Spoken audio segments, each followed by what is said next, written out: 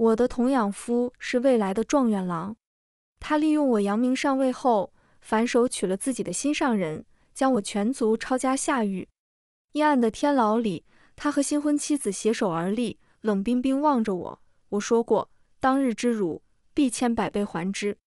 下一瞬，我从梦中惊醒，搞不明白这梦境究竟是预示，还是内心隐忧。第二日清晨，我与崔宁远同乘马车前往学堂。半路却撞到一个人，被撞翻在地的人抬起头来，露出一张异常清秀的脸和一双明亮又灵动的眼睛。崔宁远语气一顿：“这位姑娘。”我在他身后不经意一瞥，心中却惊骇万分。这张脸，这个人，不就是我昨夜梦中崔宁远那爱入骨髓的新婚妻子唐露？崔宁远是我从山里捡回来的童养夫。他自幼父母双亡，带着妹妹崔宁芝边读书边讨生活。崔宁芝十四岁时被乡绅看中，意图强纳为妾。崔宁远上门救人，反被家丁一顿毒打，扔在了山脚下。我就是在这时候把他救回了家，灌下参汤，敷了伤药，他过了半日才醒来。青竹般清冷又倔强的少年，脸色苍白的躺在那里，有种奇异的迷人。我支着下巴坐在桌前，对上那双尚存几分迷蒙的眼睛，淡淡道：“我可以帮你，条件是你从此留在江家，做我的童养夫。”崔宁远脸色一白，猛地抬起头瞪我，眼中闪过屈辱。我轻轻敲了敲桌面：“你也可以拒绝，此番救人施药，全当我善心大发，不会收你一文钱。”自然，他最后还是答应了我。我带他上门。看着那乡绅诚惶诚恐地将崔凝之推出来，他又扑进崔宁远怀里大哭，好一出兄妹情深的大戏。我坐在一旁喝着茶，那乡绅讪笑着来向我讨饶，小的有眼无珠，不知这竟是江姑娘的家人，还望姑娘大人不计小人过。那一瞬间，我看见崔宁远眼底闪过什么，大约是对权势和金钱的渴求，位极人臣的野心。崔宁远和我的亲事。就这么定下了。他带着妹妹住在江家，人人都知道他是我江迪的童养夫。我爹虽是当朝将军，却只有我娘一位正室夫人，江家上下也就我这么一个独女。只可惜我身有顽疾，还是从娘胎里带出来的病根。有次和崔宁远用晚膳时，我转头猛咳，瞧见他脸上一闪而逝的厌恶。丫鬟启月取走我眼唇的帕子。上面赫然染着大片鲜红的血迹。崔凝之并不喜欢我，嘲笑道：“原来是个病秧子。”启月大怒，脱口而出：“你怎么敢这样和我家姑娘说话？真是没规矩！宁之年纪还小，冒犯了江姑娘，还请江姑娘宽恕。”崔宁远一撩衣袍，冲我跪下：“若姑娘心有不忿，罚我便是。”哥，你干什么？崔凝之急得去拽他袖子，男儿顶天立地，身有傲骨，他敢这样折辱你？闭嘴！崔宁远低声斥责。我好整以暇地看着这一幕，半晌才开口：“他明年便要及笄，也不算小了。既然没有规矩，我会让人送他去女学，好好学一学规矩。”崔宁远抬眼望着我，冷然道：“我呢？你又打算如何安排我？”我勾了勾唇角。挽着启月的手站起来，你既然是我的童养夫，自然该随我同入京城学堂。定亲三载有余，崔宁远心中仍然怨我至极，连称呼也不肯改。他的学识放在整座京城学堂都是出色的，先生常拿他训斥纨绔，那群人便翻出他童养夫的身份肆意嘲弄。年岁愈长，我的身子越发孱弱，冬日寒冷，见不得风。娘命人将马车严严实实的遮起来，又置了几只手炉，车内热气翻滚，崔宁远鼻尖都冒汗了。你若是觉得热，先解了斗篷，下车再披上。说着，我伸手就要帮他解下斗篷，他侧身躲开我的手，眼底翻滚厌恶之色。别碰我！我怔了怔，手也跟着僵在半空。你很讨厌我？不曾。他又平静下来。反倒将斗篷拢得更紧，只是姑娘身子弱，此等小事不敢劳烦。心里泛上细细密密的痛，我脸色发白，却说不出话来。似乎不管我这三年待他如何，他始终牢记初见那一次的交易，并将其视为莫大的耻辱。我并非性子坦荡、有口直言的人，却也尽我所能的将我的心意传递给他。可崔宁远从来都是拒之门外，不屑一顾。到学堂后，在众人的起哄声中，先生来了。他带来了一个新入学堂的少年，我叫贺文秋。此人十分热情地抬手挥了挥，笑容灿烂。这边的朋友们，你们好啊！不知道是不是我的错觉，他目光飞快掠过众人，却在我身上意味深长地停留了片刻。这人有些奇怪，我望着他笑意清浅的眼底，不知怎么的，有些恍神。愣怔片刻后，才意识到自己的失态。收回眼神后，我很快察觉到旁边冷冰冰的视线，竟是崔宁远。贺文秋是贺家嫡子，并非如我一般是将姑娘可以随手羞辱的微贱之身。下学后，他破天荒的主动来找我同行，却在半晌后忽然丢下这么一句。我怔然了一下，忍不住道：“你很在意这件事吗？”崔宁远脸色一沉，破天荒的叫了我的名字，江迪。你真是自作多情。你放心，你我既有婚约，我的心思便不会落在旁人身上。何况那贺文秋瞧上去古里古怪的。我话音未落，身后忽然传来一声嗤笑，转头望去，正是贺文秋。他嘴里叼了根草叶，看上去姿态懒散，人却凶巴巴地瞪着我，背后不道人是非。江迪同学，你不知道这个道理吗？知道。我说。我哪有背后议论？难道不是当着你的面说的吗？这话听上去无法反驳，最后他只好多瞪我几眼，气哼哼地丢下一句：“你给我小心点。”我与贺文秋对话间，崔宁远已经不耐地走远了。我有心想追上去，却鬼使神差地想起早上撞到唐露的事和昨晚那个离奇的梦境。后面月余，除了去学堂之外，崔宁远总是外出。我遣人去查，他们很快回禀，崔宁远私下出府，基本都是去找唐露了。他们是如何凑到一起去的？侍卫回道：那日下雪，崔公子在路上又遇唐露，问起他的伤势。唐露是医女出身，自称无碍，一来二去，二人便相熟了。唐露的身世背景很简单，他父亲是京城西三坊一带小有名气的郎中。两年前过世后，便由唐露接过了他的衣钵。这样一个人，平平无奇，似乎并无长处。在我的梦里，他究竟是如何与崔宁远联手推翻我江家，一步步走到那个位置上去的呢？我百思不得其解，很想再做一遍那个梦，捕捉更多细节。可不管怎么努力，却始终没有再一次梦到那不知是杞人忧天，还是提前预示的结局。那一日，学堂早课休息间，崔宁远竟然主动找到我说有话要单独和我说。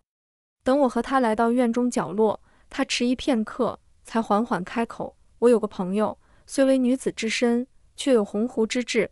他也十分想进京城学堂读书。”一瞬间，我有些恍然，心中冒出一个念头：难道在梦里，正是我帮唐露进入学堂后，才让他和崔宁远找到了扶摇直上的机会？走神思索间，崔宁远的长篇大论已经陈述完毕。半晌没等到我答允，他有些焦躁道：“不知江姑娘愿不愿意答允此事？”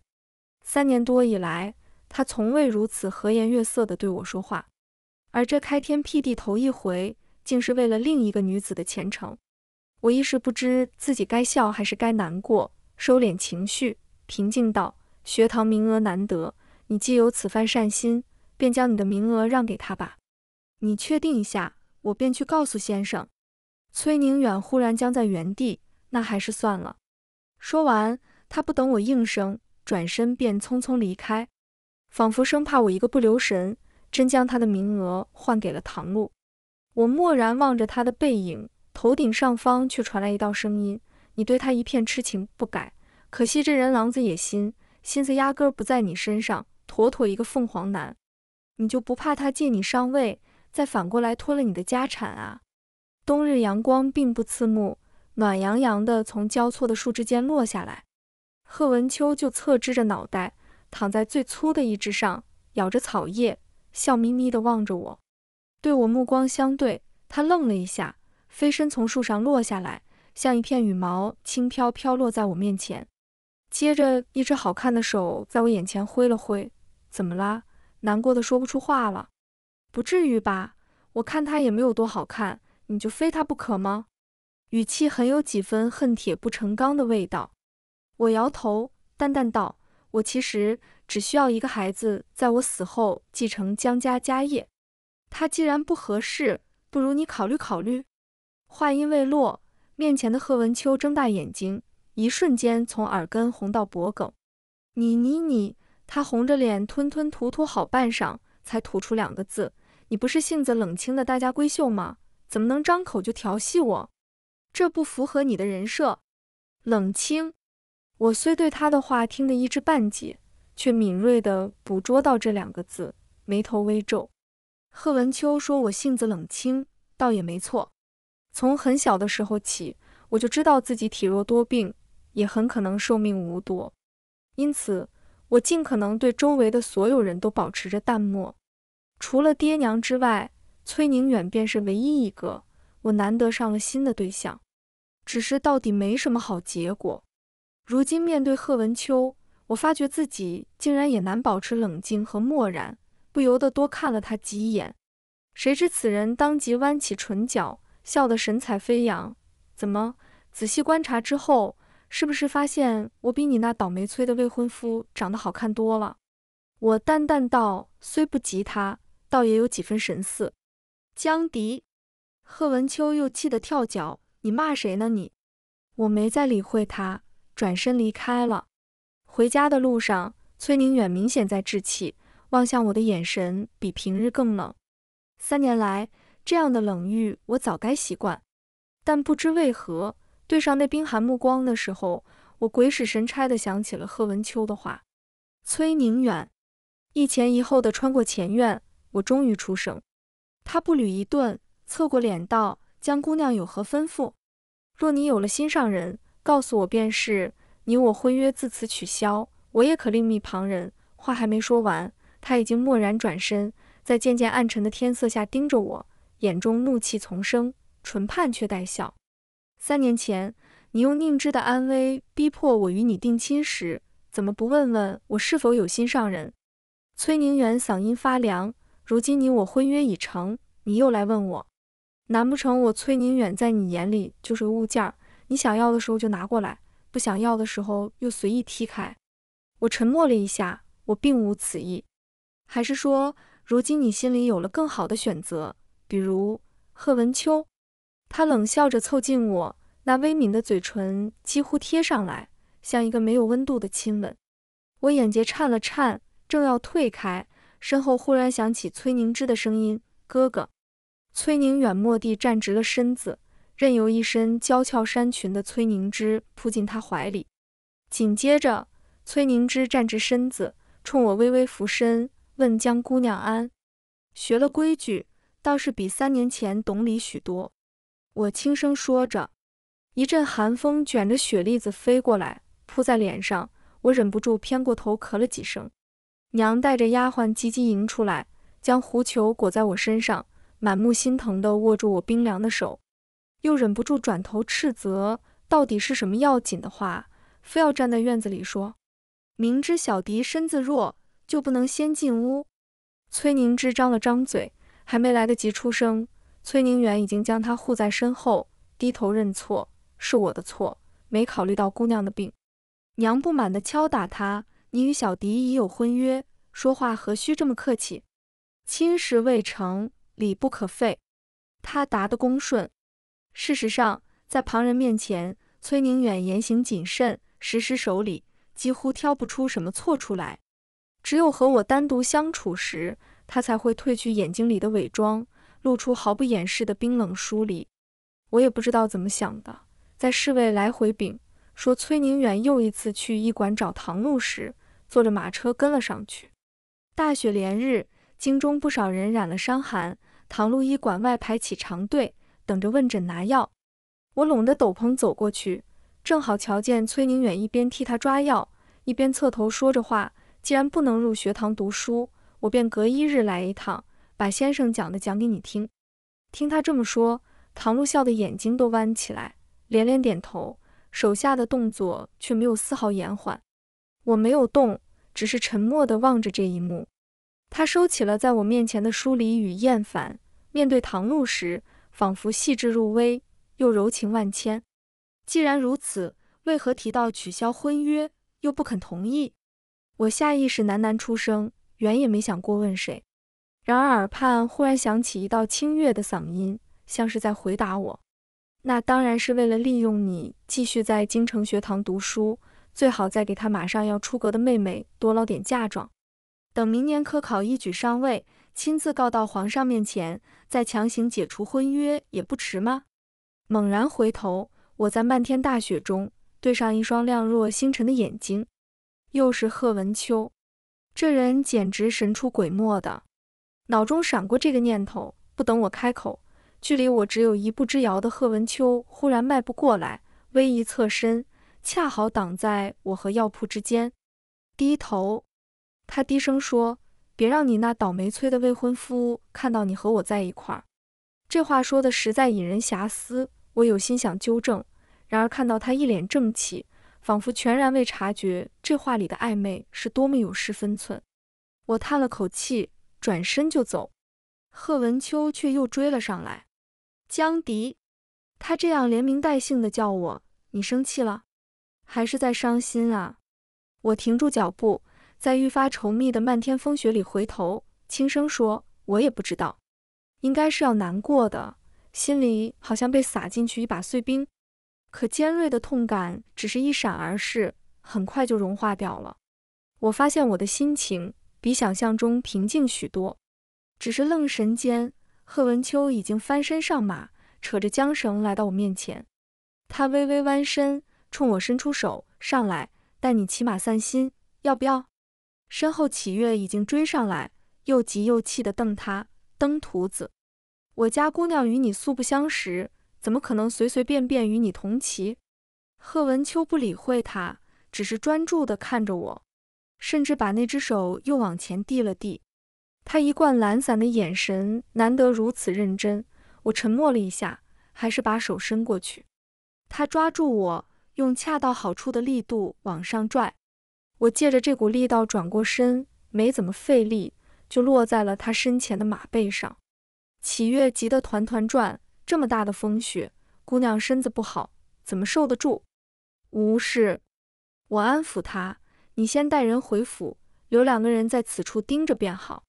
那姑娘，贺文秋截住他的话，放心，我骑术了得，怎么把你家姑娘带走的，定然会怎么完好无损的送回府中。好轻。贺文秋的声音很小，然而我与他之间不过隔着一层兔毛滚边斗篷。自然听得清清楚楚，于是回头望了他一眼，他却一扯缰绳，一边纵马一边开始念叨：“你肯定没好好吃饭，光喝药有什么用啊？多吃两口肉，补充蛋白质，不比喝那些苦兮兮的中药好多了。还有你早上喝那些清汤寡水的小米粥，就不能换成牛奶和煎蛋？”身下骏马疾驰，寒风卷着雪花扑面而来，正要咳嗽。一件斗篷已经落在了我身前，贺文秋的声音响起，却不甚清晰。抓好了，用来挡风。眼前景物渐渐从高矮错落的房屋变作城门。贺文秋不曾停留，抛了块牌子给守门的禁卫军，接着便很顺畅地出了京城。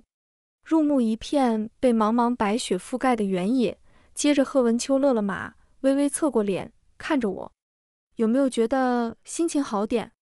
他说：“你看天大地大，何必在一棵树上？可能是觉得不吉利。”他把最后两个字吞了回去。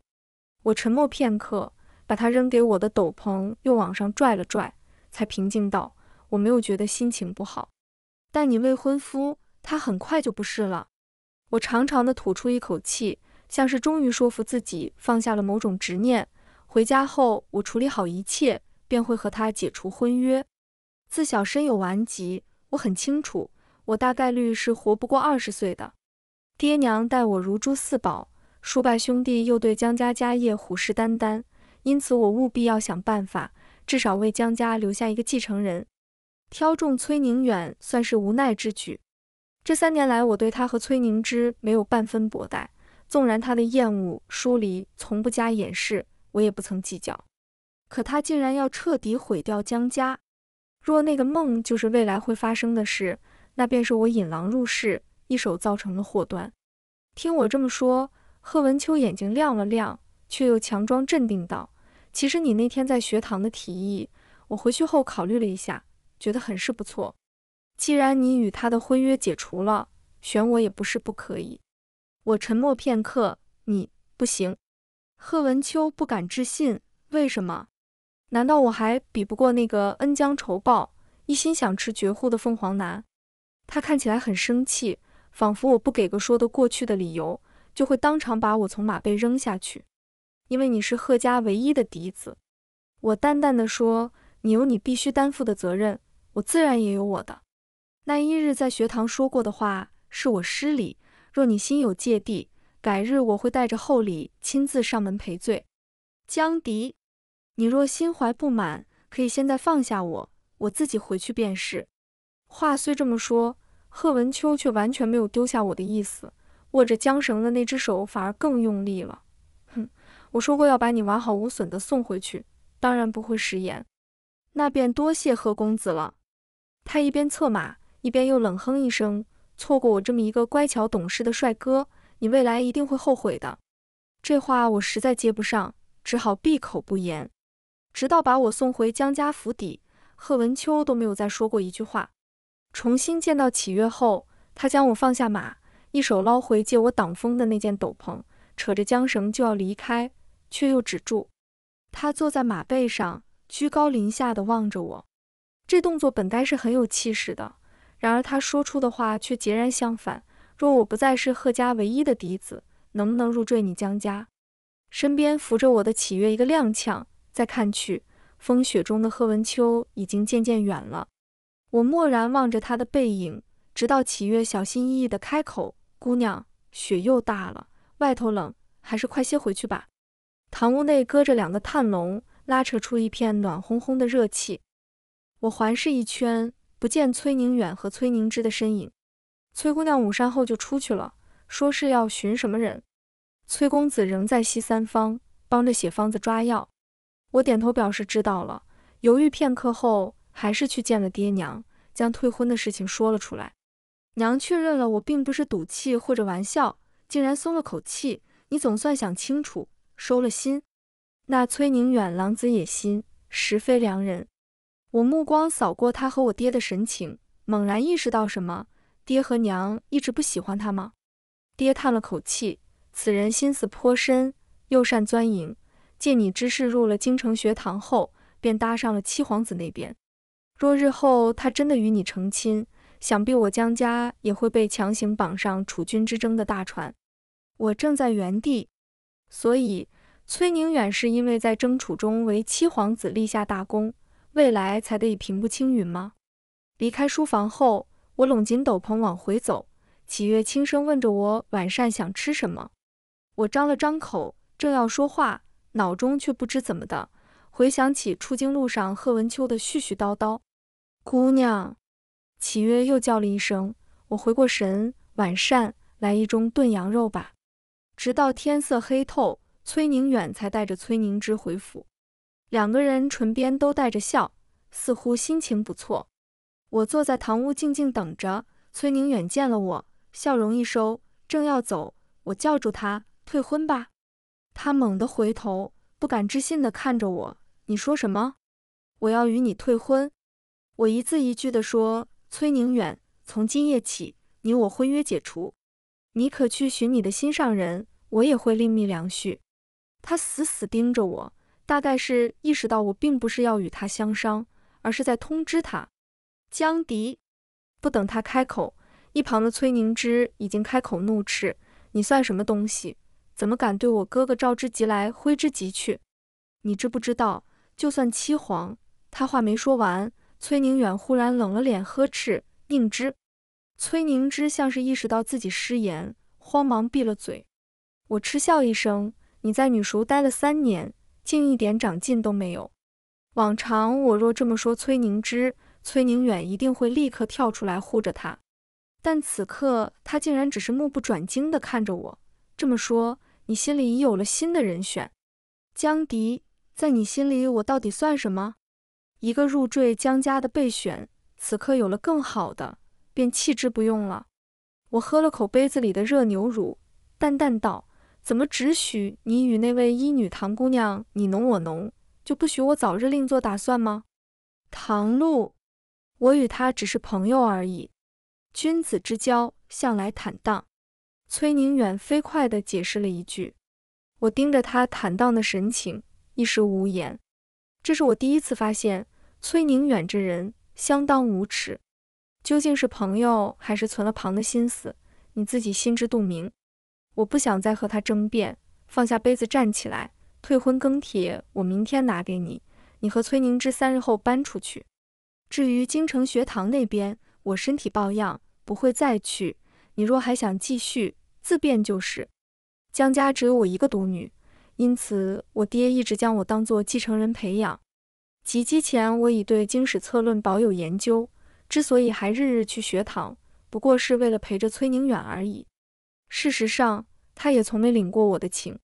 得了我的命令，侍卫们动作很快，三日一到，便客气冷漠地将崔宁远兄妹请了出去。他们离开那日难得天晴，我穿着袄裙站在门口，面色淡淡的看着崔宁远出了门，却忽然停住脚步，转头向我看来。江迪。他极少连名带姓的喊我，嗓音又冷又锐，像柄开刃的利剑。今日之耻，连同三年来的屈辱，来日我会一样一样的还给你。我张了张嘴，还没来得及开口，后面忽然传来一道熟悉的声音，听起来喜气洋洋。哟，头一回见到这么无耻的，带着妹妹在别人家蹭吃蹭喝蹭学堂三年，不当牛做马报恩就算了，反而视为耻辱。目光流转。我看到马上一身烈烈红衣的贺文秋正神态从容地停在门前，崔宁远的神情一下子变得很难看。贺文秋继续道：“我要是你这么有骨气，不得当即把三年前吃的东西都吐出来呀！”最后，崔宁远带着崔宁之头也没回的走了。我微微仰起脸，看着马上的贺文秋：“你怎么在这里？巡街路过这边，顺带过来看看。”我微怔了一下，这才注意到他腰间配的是京城禁卫军特有的佩剑，且不知道是不是发觉我在看他，贺文秋一下子把腰板挺得更直。我目光落在他脸上，忽然道：“你脸上怎么有伤？”呃，我忽然想起东三方那边还有巡街任务，先走了。贺文秋神情一变，语气慌乱地说完，转身就骑马离开了。我心中不免疑惑，晚膳时顺口问了我爹一句，没想到他竟然很有兴致地同我说起来，还不是贺家那小子。前两天回家后找老贺说他要上门给人家做赘婿，老贺脾气暴，抄起家伙就给了他一下，还说他是进了学堂学的那些秀才的酸腐之气，寻了个差事就给他扔到京城禁卫军去了。我目瞪口呆，好半晌才勉强应了声：“是吗？”可不是，老贺这些年一直带着家眷守在北疆，今年才得圣命传召回京。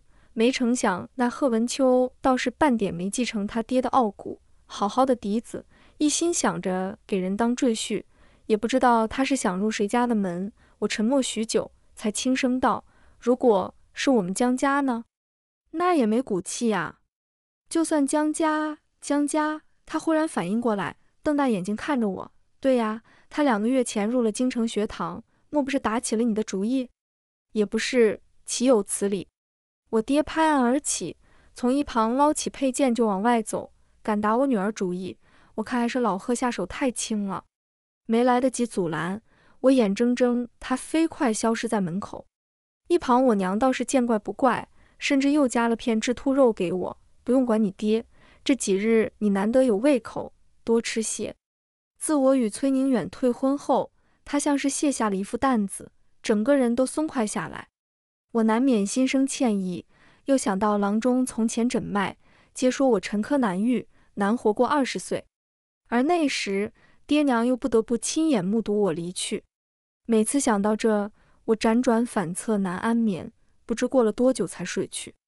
这一次睡着后，又做了奇怪的梦，梦里寒风凛冽如刃，令人想到一年到头都难有春夏的北疆。而这梦中之人，竟然是年幼的贺文秋。只是在我的梦里，他身患顽疾，是从娘胎里带出来的病根，于是九岁那年就此夭折在北疆。醒来后，我拥着被子坐在床上，怔怔出神。这梦究竟是什么预言吗？若是预言，如今十九岁的贺文秋已经好端端出现在京城，九岁夭折的那一个又是谁？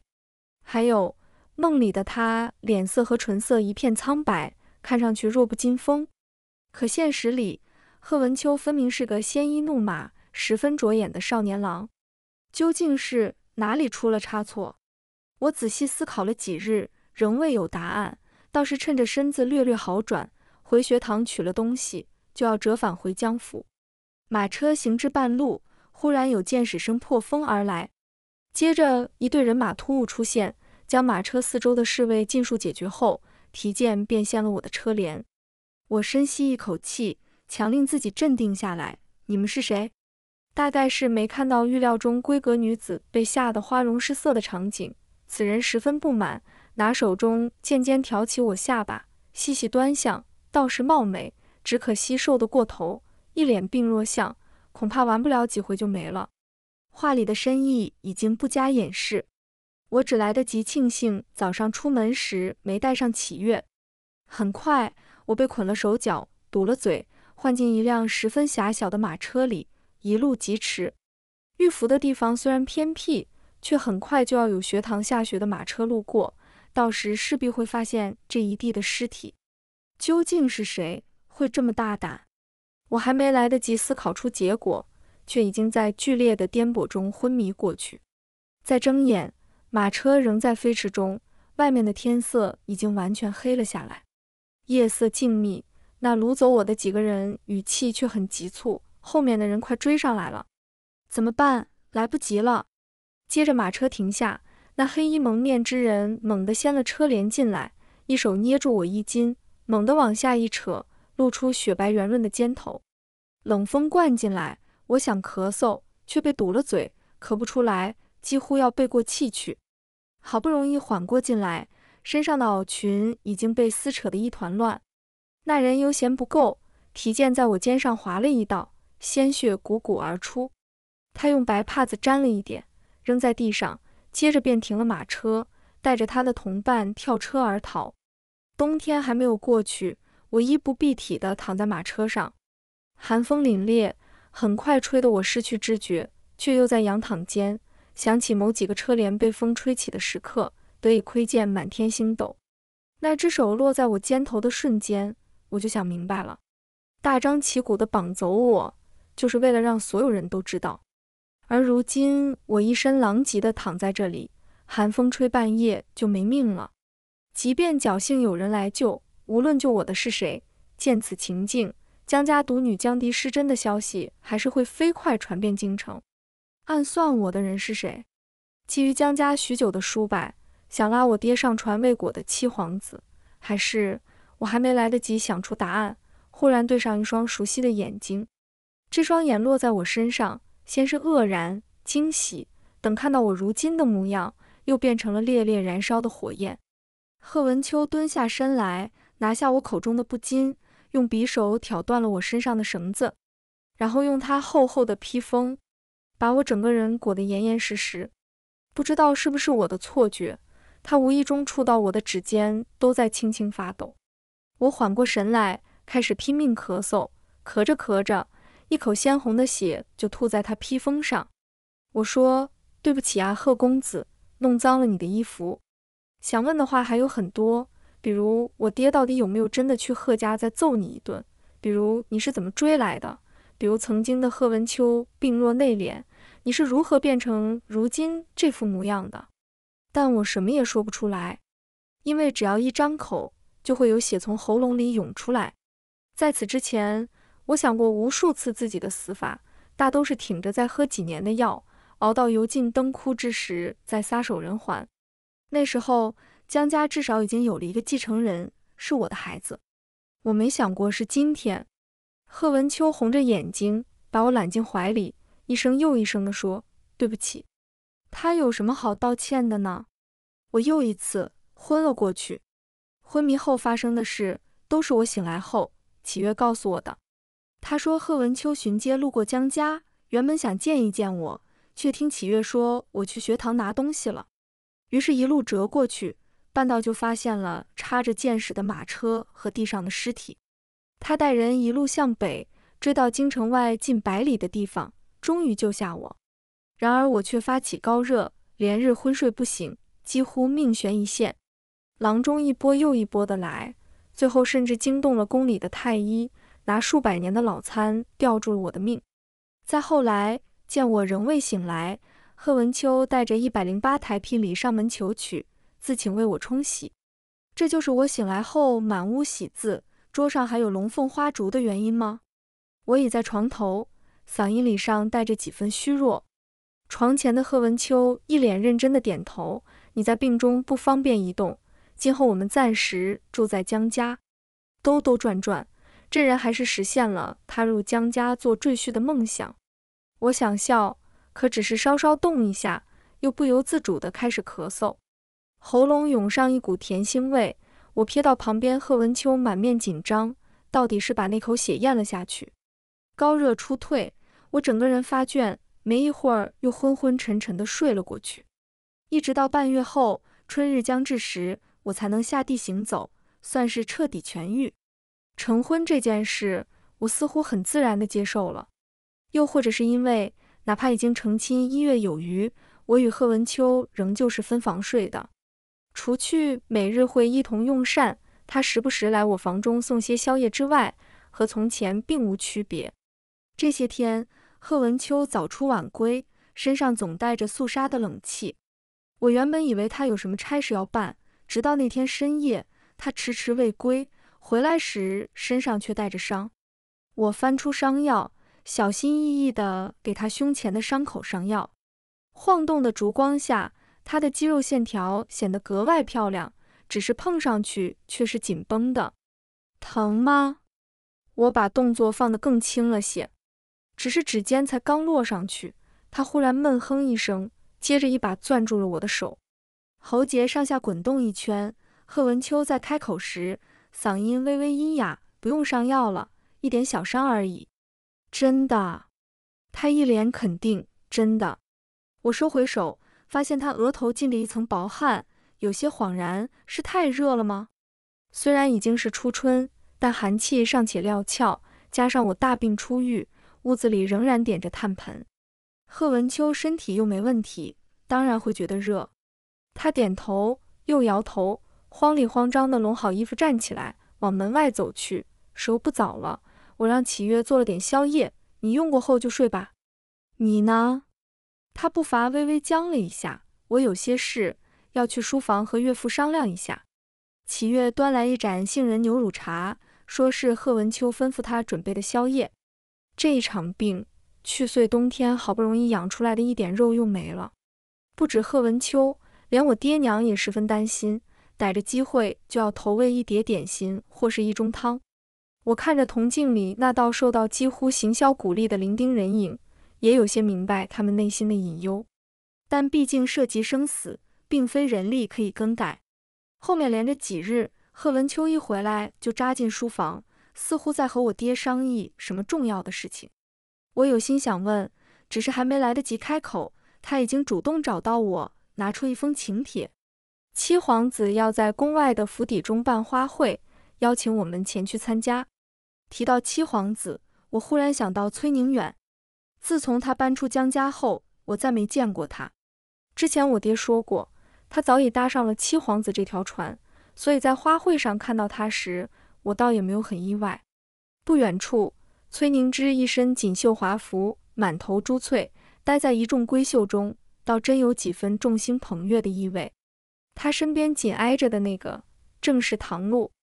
见到我，崔凝之掩唇而笑，又很快换上一脸担忧。江姐姐，听闻你从学堂回府的路上被恶人掳走，清白尽失。他并没有将话说完，庭院内却忽然寂静下来，一时间，几乎所有人的目光都落在我身上，其中的意味不言而喻。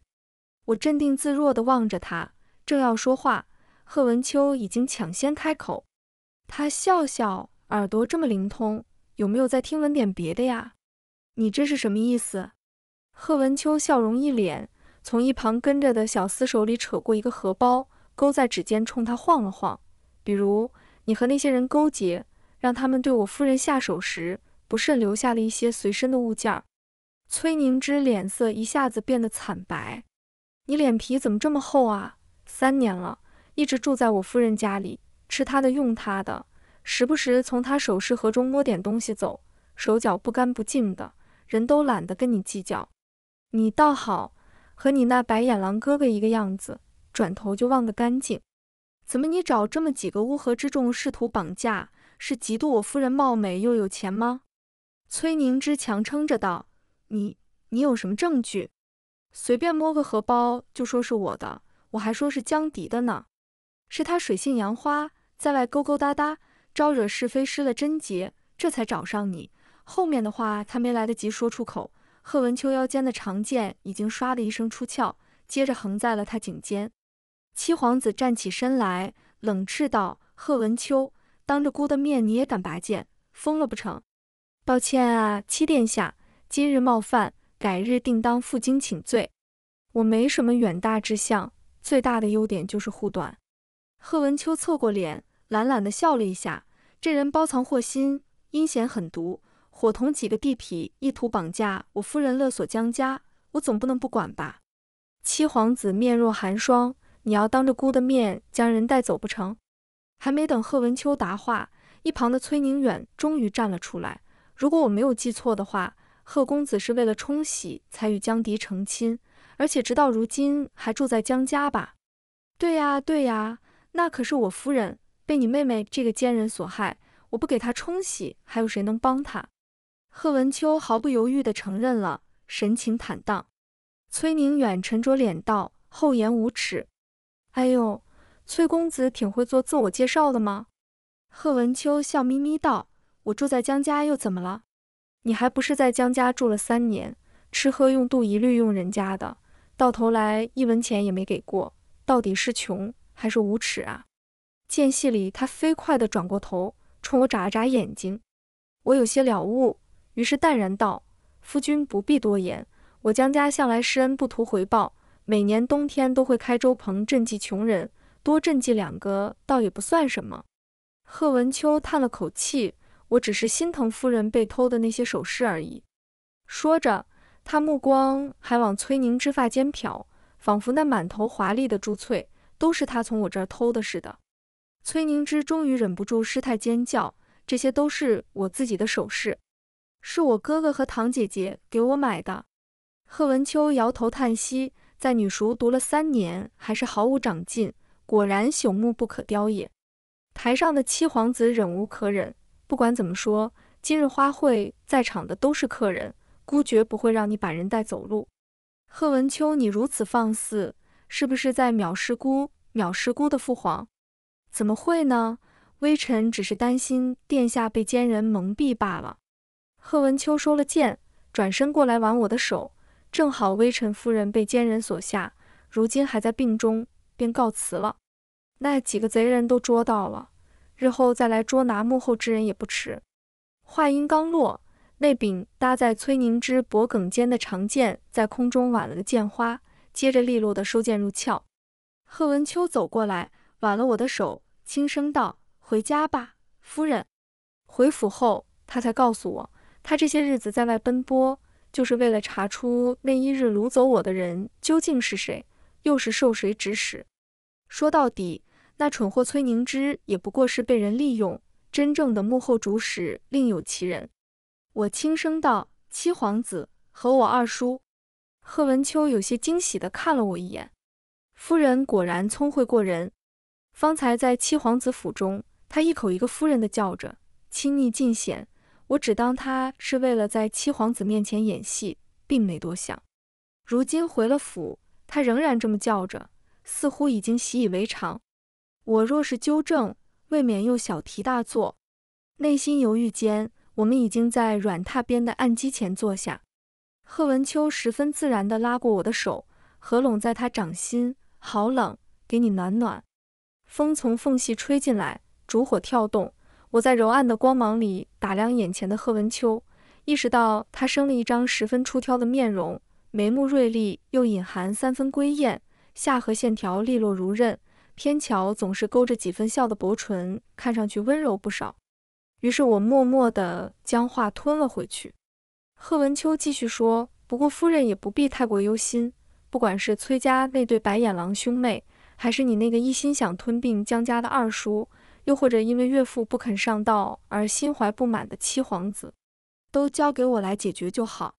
你唯一要做的就是好好吃饭，按时加餐，把身体养好，不要再生病了。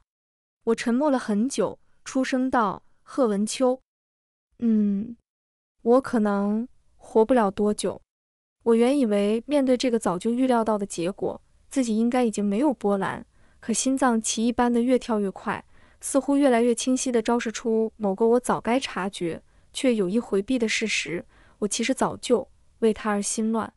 不会的，他郑重其事地说：“我娶你时就知道一切，知道你身子弱，但那又如何？总能补回来的。千难万难，我陪着你就是了。江迪，我无论如何都不会让你死的。”那些百转千回的隐秘心思，贺文秋并未察觉到。他替我暖了手，又顺手从一旁的果盘里拿了个苹果，削好皮之后递过来，看着我吃完，终于满意地点点头。好了，你休息吧，我走了。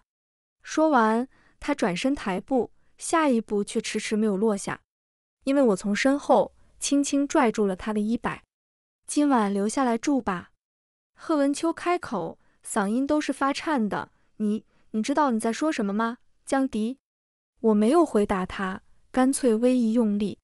明明在马上气势凛凛，敢和七皇子当庭对峙的贺文秋，就这么后退两步，险些跌坐在软榻上。那一日你来救我，我其实并非清白有失。我知道。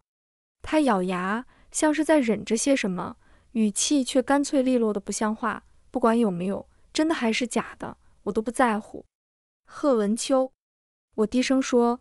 一开始我就说过了，不管是我还是江家，都需要一个孩子。安静片刻，他重重吐出一口气，终究是转过身来，低下头，有温热又细密的吻落下来。如果突然又不想要了，随时叫停我。覆盖在我肩头的柔软衣料被掀起，随即有更灼热的东西取代了它。房间气氛暧昧氤氲，贺文秋揽着我的腰，微微仰起头。指尖落在我腰窝两侧，像是在描摹线条。太瘦了，他轻轻嘟囔了一句，还得继续补。第二天醒来后，外面淅淅沥沥落着雨，不一会儿便放晴了。贺文秋坐在桌前摆弄着一只木匣子，目光专注，直到我叫了他一声“夫君”，他抬起头，愣怔地看了我片刻，从脸颊到耳朵的一大片忽然红了。你醒了。我让启月帮你炖了鱼汤，用来煮面。昨天晚上你受累了啊？也不是，你还好吗？他语无伦次地说了半晌，直到我拥着被子摇头道：“我没事，昨夜的事我很受用。”然后一贯天不怕地不怕的贺小少爷从椅子上一跃而起，冲到院子里。远远的传来启月的惊呼：“姑爷，您做什么去？”片刻后，启月端着一碗鱼汤面走进来。一脸奇异，姑爷真是个奇人。他去哪儿了？他说他太兴奋了，要去院子里跑几圈，冷静一下。启月过来服侍我起身更衣，用了那碗鱼汤面，而后坐在妆台前梳妆。铜镜里倒映出一张艳若桃李的脸，肤色如雪，鬓发散乱，挺翘的鼻尖下唇色发淡，而原本冷清的眉眼间有着星星点点遮掩不住的春意。启月一边为我挽发，一边笑道：“真好，瞧见姑娘如今这样开心，奴婢也觉得开心。我微微勾了下唇角。从前你看到崔宁远，可没有这样的好脸色。他也配？启月自小同我一起长大，知道我身子不好，一向很护着我。从前崔宁远对我横眉冷对，他也就看他万分不顺眼。就算是条狗，吃了别人三年的东西，也该摇着尾巴亲近些。他倒好，分明是姑娘救了他妹妹，为他们提供衣食，送他们去读书。这两人没有丝毫感激就算了，还敢那样对姑娘，真是不识好歹极了。这样的道理我也是懂的，只是从前我也不知为何鬼迷心窍了似的，错把榆木当珍珠捧在手里，怎么都不肯撒手。若非那个梦，若非贺文秋毫不客气地点醒我。如今我大概仍然单溺在那个浅显却迷乱的困境里，不得挣脱。只是启月这么厌恶崔氏兄妹，若是知道我之前被掳走的事也和他们有关，不知道得气成什么样。回过神，听见启月在问我要戴什么首饰，我打开匣子，顺手取了两只白玉发簪给他。目光下移，我看到一旁那只小匣子，忽然想起贺文秋方才坐在这里摆弄了半晌。于是拿起来打开，那里面装着的居然是一对戒指。我有些愣怔间，他已经跑完从院子里回来了，看到匣子在我手里，嗷的一嗓子就冲了过来。贺文秋很紧张地看着我：“你打开了？对不起，不能打开吗？”我怔了怔，有些歉意地把匣子重新合拢。贺文秋猛摇头：“没有没有，不用对不起，这本来就是给你的，只是……”缺少了点惊喜和仪式感而已，所以这到底是干什么的？就是一对戒指吗？贺文秋深吸一口气，换上一副郑重其事的表情，是求婚戒指。在我微微茫然的目光里，他拿起那只匣子，单膝跪在了我面前。江迪，这么多年，我一直在等，等你嫁给我这一天，或者娶我，怎么说都行。总之，你愿意同我成亲吗？我正在原地，我们不是已经成亲了吗？不行不行，现在还不算，那会儿你还在病中，所以什么都只是简单操办了一下。他说：“怎么可以委屈你？等这些事解决后，我要给你全京城最盛大的婚礼。”说不上来那个瞬间是什么样的心情。自小我就知道自己顽疾缠身，很可能活不了多少年。年幼时不懂事。试图和二叔、三叔家的堂兄弟亲近，他们会假意带我一起玩，又在把我带到僻静地方后，一把推在地上，然后得意洋洋地告诉我：“病秧子，你知不知道，等你死后，你家的东西就都是我们的呀？”我不肯相信，回去问我爹，他大怒地带我去找二叔、三叔，得到的却是他们不以为意的答复。难道不是吗？大哥，你和大嫂就这么一个女儿，还活不长？日后如果不靠着我们，如何保得住这偌大的家业？我爹没理会他们，撂了话说要和他们断绝关系。回家后却一脸认真地告诉我，他们说的一个字都不必相信。你是我女儿，我的东西自然都该交到你手上。我低声问：“可是我不会活太久，对吗？”那只轻轻抚过我发顶的手忽然僵了一下。我爹语气肃穆：“我会想尽办法。”让你长长久久的活下去，也许是因为我身体的缘故。这些年，他与我娘十分纵着我。我说要读书，便想办法让我入了京城学堂。我说要与崔宁远定亲，哪怕他们都看出他狼子野心，却只是暗中调查提防，不肯令我有半点伤心。直到如今，才算云开见月明。我遇着了贺文秋，初见时只觉得有些奇怪。一贯引以为傲的淡漠冷静总是在他面前瓦解，我忍不住和他斗嘴，故意说着言不由衷的话。看到他被气得跳脚的模样，心情就莫名的愉悦起来。但其实我说的并不是内心真实所想，他可比崔宁远好看多了。我回过神，看到面前的贺文秋，他仍旧保持着那样单膝跪地的姿势，腰背挺得笔直，像一柄锋芒毕露的长剑。脸上流露的神情却十分紧张，我灿然一笑，好啊。而后，其中一枚闪闪发亮的戒指就被套上我的手指，我忍不住笑，你昨日在七皇子府中舌战崔氏兄妹，还顶了七皇子几句的时候，明明神气的很，怎么这会儿倒紧张起来了？因为不一样的。一旁为我挽好发的启月已经悄然退出了房间，临走前还没忘将房门带上。对付他们是事在人为，我本就筹谋多年，其实算是万无一失。那张俊俏的脸凑过来，鼻尖亲昵地蹭了蹭我。又退开一点，在近在咫尺的地方望着我。可成亲一事，全在夫人心意，非我努力所能更改。我拨弄着戒指上的红宝石，如果我刚才没同意呢？贺文秋忽然打横抱起我，走向幔帐掩映的床榻。重重幔帐拉开又合拢，他小心翼翼地放好我，又撑着床沿俯下身来，语气严肃：“那我只好令夫人更受用一些，然后再多求几次婚了。”后面几日，贺文秋变得更加忙碌。楚军之争已持续多年，朝中人皆知，最终这位置不是落在七皇子头上，便是九皇子。而从去岁春天，七皇子领下一桩江南严巡的差事，又完成的十分出色后，他在朝中的势头明显已经远胜九皇子。此情此境下，贺文秋还想解决他，只能令他继续膨胀，声势浩大。直至军心起疑，再适当推波助澜。书房里，贺文秋说完，我爹点点头，止不住面上的欣赏，年轻有为，真是年轻有为。我在一旁适时的补上一句：所以爹，你之前真的去贺府揍过他了吗？我爹难得瞪了我一眼，贺文秋连忙在一旁打圆场：是切磋，切磋武艺。小旭学艺不精，岳父多加指点也是正常。贺文秋明显已经非常了解我爹的喜好，三言两语就哄好了他。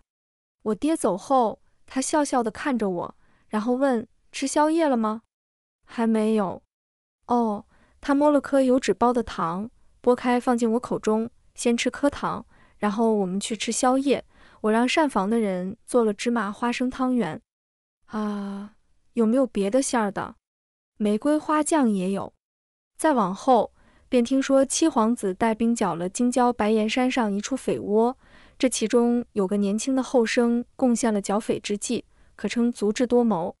这个年轻后生自然就是崔宁远。皇上龙心大悦，特意召见了七皇子和崔宁远。听闻崔宁远今年要参加春闱，大肆称赞了一番，还下旨命七皇子监考。此言一出，众臣皆知，皇上这是极为欣赏七皇子。储君之位究竟落在谁身上，似乎已经是心照不宣的事情。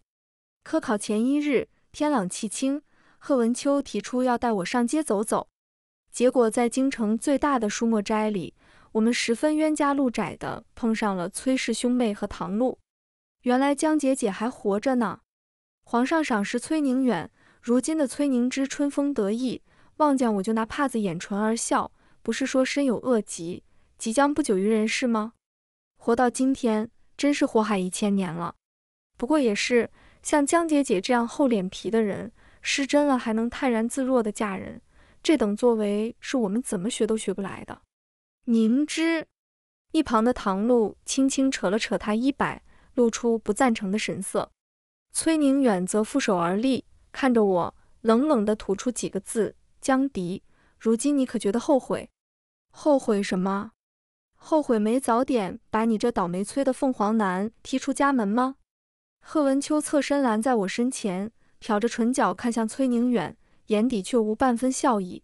你赖在江家蹭吃蹭喝三年，如今见了恩人，却直呼其名，这么多年的书都读到狗肚子里去了。崔宁远面色一寒，崔宁之嚷道：“贺文秋，你捡了别人玩过的破鞋，哪来这么大气派？”啪的一声。贺文秋飞身上前，甩了崔宁之一个耳光，又晃着手腕退了回来。未出阁的姑娘嘴里不干不净的，果然和白眼狼是亲兄妹。他将另一只手伸到背后，握住我的手指，轻轻摇了摇，以作安抚。不过我有必要提醒你，之前那些证据我都留着呢，送你下大狱也就是一句话的事。这几天你还是抓紧时间多看看京城的景色吧。等流放边关后，可就看不到了。贺文秋笑眯眯地说完，挽了我的手，转身要走。崔宁远却在身后道：“贺将军身为禁卫军统领，却当街对一个弱女子下手，难道就不觉得羞愧吗？怎么，你还想道德绑架我？可惜我不跟你这种人讲道德。”贺文秋匪夷所思地转过头去：“你妹妹欺负我夫人，我打她不是很合理吗？若你心有不忿，想为她出头，只管来找我打就是了，我随时奉陪。”崔宁远自然是不敢的。当初他那点明知不可为还要上门救人的勇气，早在这几年的富贵生活中消磨殆尽。果然，贺文秋与我并肩离去，他也只敢在原地看着，只是望过来的眼神愈发阴狠。崔凝之顶着脸上鲜红的巴掌印，气得骂骂咧咧，却被唐木捂了嘴，一脸无奈地劝解着：“怎么了？”一脸若有所思的样子。买了首饰衣裳后。我们坐在一家据说鹅肉做得很好的酒楼里，贺文秋忽然凑过来问我，我回过神，摇了摇头，在想唐露，他看上去还挺正常的，怎么会和崔氏兄妹混在一起？贺文秋轻笑一声，伸手过来，将我耳边散乱的鬓发别到耳后。你以为他真的会喜欢崔宁远那等货色吗？他是来找东西的。什么东西？一样珍贵的药物。贺文秋微微低头，唇边勾出个意味深长的笑来。只是我也需要那东西，所以他大概要无功而返了。七皇子的倒台其实没让人等很久。春闱放榜，崔宁远果然是这一年的状元郎，受封正三品官位，直入翰林院。只是还没等他大展宏图，京中却已飞快地流传着一则消息：当初京郊那被剿灭的恶匪。是一个村子里无辜的村民，七皇子为了夺宝杀人灭口，又唯恐事情败露，便由崔宁远出了个胆大包天的主意，将这数十名百姓改头换面，伪装成恶匪，既可掩盖杀人灭口的事实，还能在圣上面前立得一功。此事一出，天子震怒。经查证属实后，七皇子被贬为庶民，而出主意的崔宁远被判三日后斩首。至于崔凝之、贺文秋呈上他之前在七皇子的指使下与我二叔合谋掳走我的证据后，皇上便将他们也一起下了狱。行刑前一日，贺文秋专程带着我去天牢看望崔氏兄妹。牢内一片昏暗，只有墙壁上的烛火跳动着。崔宁远死死盯着我和身边的贺文秋，片刻后猛地扑了过来。不对，不该是这样的。贺文秋笑着反问。那该是怎样的？七皇子登基，我该平步青云，仕途通达，该死的是江迪才对。他喃喃念着，神志似乎已经不太清醒，却又猛然抬头，用可怖的目光瞪着贺文秋：“你早就该死了才对，怎么会出现在这里？”我心里咯噔一下，忽然想起那个被我遗忘许久的数月前的梦境。梦里位置调转，此刻在牢内的人是我。牢外意气风发的是崔宁远和唐露，梦里的贺文秋九岁那年就死在了北疆。不等我想出结果，身畔的贺文秋已经到。我当然是来送你上路的呀。走好吧，崔状元，你这状元当了三天，也该当够了。回去时天色已暗，我反复思索着那两个梦，连贺文秋的话也答得漫不经心。用过晚膳，他陪着我回房。我如梦初醒，抬眼望着他。我今夜身子有些不适，你先去休息吧。贺文秋深深地看了我一眼，好。他走后，我拿起纸笔，在纸上细细写出那两个梦中发生的事情和现实对比，发现一切变数似乎都是因为梦里的贺文秋很早就死了。我没有遇见他，因此最终还是和崔宁远成婚，被侵占家产，夺走了一切。可是为什么？身后忽然传来一道熟悉的嗓音。既然好奇，为什么不问我？我猛然回过头，看到贺文秋脸上无奈却又纵容的笑意。我心下茫然，我一时语塞，却又不知该如何开口。江迪，近在咫尺的声音响起，我才回过神，一个吻已经落在了我身上。这个吻不比从前的温柔克制。带着几分孤注一掷的狠意，辗转挑弄，几乎掠夺了我身周的所有气息。半晌，他终于放开气喘吁吁的我，然后道：“真是抱歉，冒犯到你了。可如果你听完不愿意和我在一起，这就是我们之间的最后一个吻。”我情难自禁。他的神情仍然是带着笑的，眼睛里却溢满悲伤之色，似乎早就料到会有这一天。我心下忽然涌上一点不安，于是伸出手去捉住了他的手腕。贺文秋低头看了一眼。紧绷的神情微微松懈了一点。他说：“江迪，其实我们不是一个世界的人。”他说：“他来自另一个世界，在那里，我和崔宁远和这京中的所有人都是一本书里的角色。书里你是虐文女主角，一心为崔宁远打算，他却从不领情。唐璐怀着目的接近崔宁远，他抄了你的家，将原本用来给你救命的药给了唐璐。”等你死后，却又跪在你坟前求你原谅。他平步青云，你在黄泉下不得安宁。天下哪有这么不公平的事情？我用了好半天才消化了他说的这件事，所以你是来替我打抱不平的。不，贺文秋轻轻吐出一口气，我来是因为我喜欢上了你，所以被七皇子和崔宁远联手杀掉的，真的是无辜的村民吗？贺文秋摇摇头。不是，我想了个办法，早就令他们搬走。迁居此处的是真正的恶匪，几乎每一个都背有人命。只不过在七皇子和崔宁远看来，他们是无辜百姓罢了。我沉默片刻，但他们还是动手了。自然，他们用一将功成万骨枯来安慰自己，还搞得挺伟大、不拘小节似的。其实就是两个卑劣小人。贺文秋说：“唐璐是江湖中人。”找那颗药就是为了给自己多留条后路。他们下狱后，他便寻不得，唯恐牵连到他，只能早日动身离开京城。我问他，所以那颗可以用来救命的药去哪里了？他摊了摊手，露出无辜的表情，就是那天晚上那颗糖已经被你吃下去了。夜风静谧，初夏已至，风里裹挟着丝丝缕缕的暖意。我看着面前的贺文秋。他努力做出一副放松的样子，只是垂在身侧的手时不时摩挲衣角，还是出卖了他的紧张。他在紧张，是怕我因为此事感到恐惧，或者对他心怀芥蒂吗？可我连死都不怕，又怎么会怕这些怪力乱神之事？半晌，我缓缓开口：“你说你等了我很多年。”是，贺文秋说：“我来的时候，这具身体才九岁。”北疆苦寒，他一个冬天没挨过去，人便没了。后来我拼命锻炼身体，再没胃口也要多吃几口肉，又跟着我爹学剑术、练武艺，就这么一步一步的养好了。我看书中你至死未见漫天星辰，只觉心中隐痛，很想让你看一看，看个够。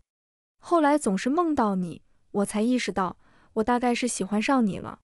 其实我很早就想来京城找你了。可我爹明面上驻守北疆，实际却是皇上忌惮他，一封圣旨命他在边关苦守十七载，未得圣诏不可回京。我不能抗旨，只能改变计划，从原文剧情出发，徐徐图谋。我等了十年，终于见到你，终于娶到你，至少在今天之前。我叹了口气，露出犹豫的神情，满意的看到贺文秋的表情越发紧张。也就到此为止。我舍得他受的委屈，也不过只有这么一点而已。那天我被人掳走，撕了衣裳，仰面躺在马车上的时候，还以为自己会死。